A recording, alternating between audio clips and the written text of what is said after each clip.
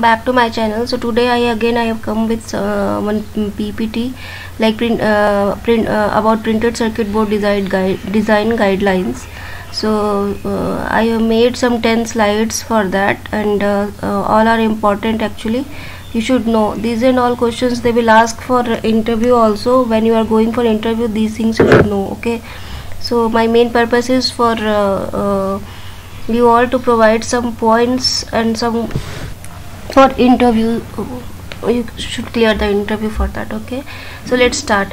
Uh, first is the length of traces carrying high speed digital signals or clock should be minimized. Means in simple word the length of the high speed digital signal or clock should be uh, very uh, minimum okay? So high speed digital uh, high speed digital signals and clocks are often the strongest noise source the longer these traces are, the more opportunities there will be to couple energy away from these traces. Remember also that loop area is generally more important than trace length. Make sure that there is a good high frequency current return path very near each other. Okay, so my next slide is printed circuit uh, board second and design guidelines second uh, point is the length of traces attached directly to connectors like input output traces should be minimized so this input output trace should also be minimized. Traces attached directly to connectors are likely path for energy to be coupled on or off the board. And uh, third one is the signals with high frequency content should not be routed beneath component used for board input output.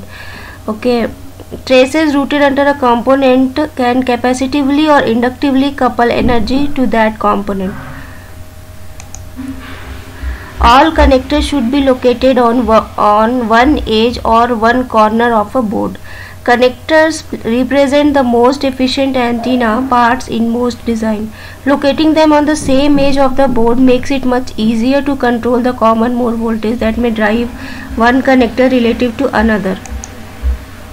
No high-speed circuit, uh, circuitry should be located between input-output connectors so uh, even if two connectors are on the same edge of the board high speed circuitry located between them can induce enough common mode voltage to drive one connector relative to the another resulting in significant radiations emission. So this is the reason why we should not uh, uh, place uh, high speed circuitry uh, uh, between input output connectors Critical signals or clock traces should be buried between power and ground planes. Routing a trace on layer between two solid planes does not does an excellent job of containing the fields from these traces and prevents unwanted coupling. Critical uh, uh, this one is done.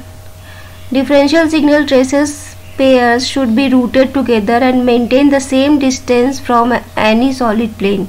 Differential signals are less uh, susceptible to noise and less likely to generate radiated emission if they are balanced.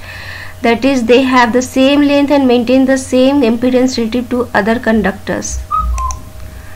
All power, example voltage, plane uh, that are referenced to the same power return like ground plane should be routed on the same layer okay if for example a board employs three voltages 3.3 volt 3.3 analog and 1 volt.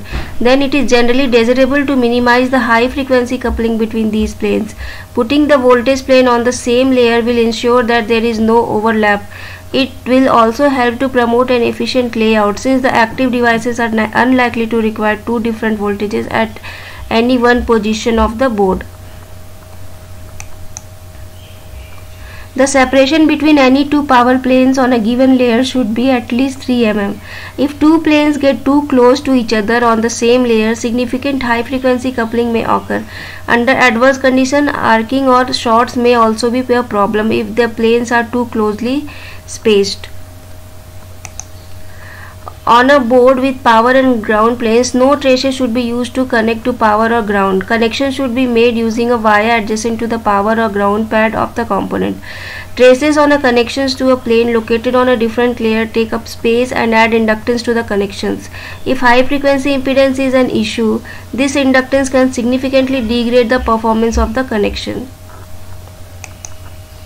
There should be no gaps or slots in the ground plane if usual it's usually best to have a solid ground plane and a layer devoted to this plane. Any additional power or signal return, uh, current return that must be DC isolated from the ground plane should be routed on layer other than the other uh, layers devoted to the ground plane. Okay.